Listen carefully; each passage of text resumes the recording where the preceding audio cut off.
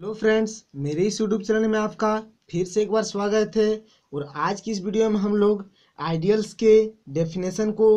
देखेंगे फ्रेंड्स तो friends ideal का जो डेफिनेशन होता है वह इस प्रकार से है कि फ्रेंड्स सबसे पहले हम लोगों ने ले लेते हैं कि लेट आर प्लस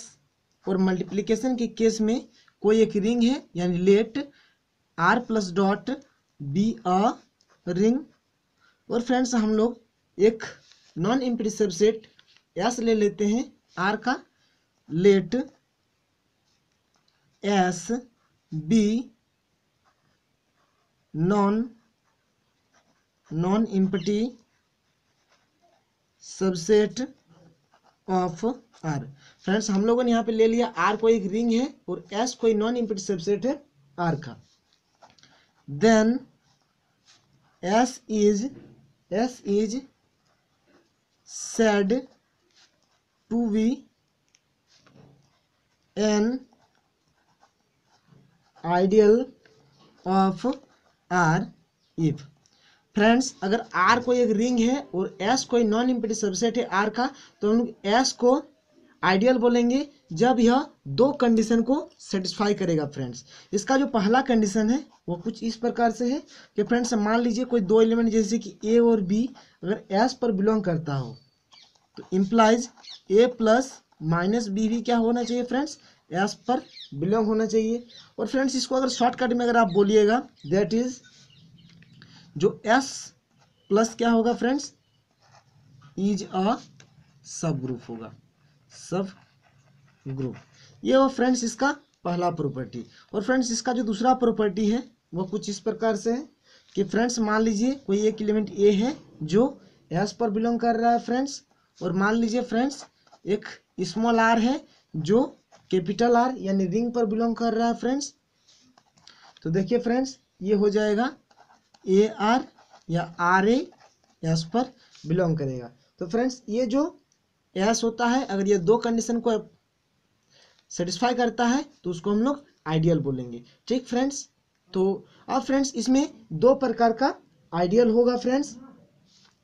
एक लेफ्ट आइडियल और एक राइट आइडियल तो आइए दोनों को बारी बारी से जान लेते हैं कि आखिर में लेफ्ट आइडियल क्या है और राइट आइडियल क्या है फ्रेंड्स ठीक तो सबसे पहले फ्रेंड्स हम लोग देख लेते हैं लेफ्ट आइडियल को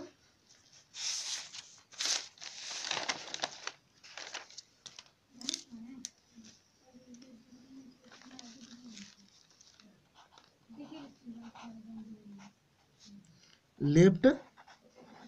आइडियल ठीक फ्रेंड्स सबसे पहले हम लोग लेफ्ट आइडियल के डेफिनेशन को देख लेते हैं लेफ्ट आइडियल का फ्रेंड्स जो डेफिनेशन है वो कुछ इस प्रकार से है कि let let S be a non non empty subset of R मान लीजिए फ्रेंड्स एस को एक नॉन इम्पिटी सबसेट है आर का is said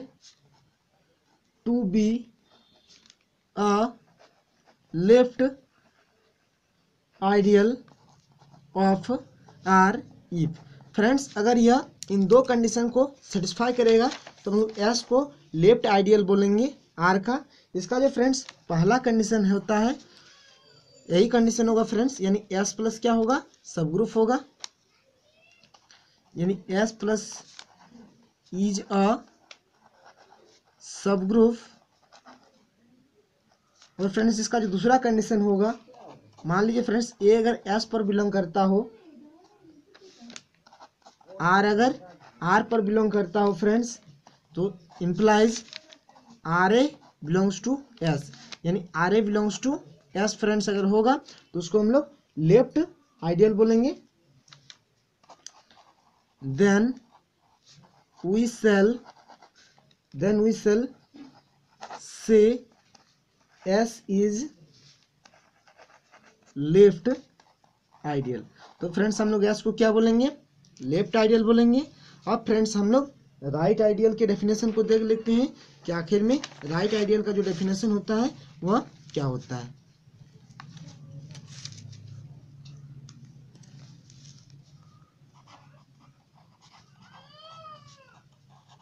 देखिए फ्रेंड्स राइट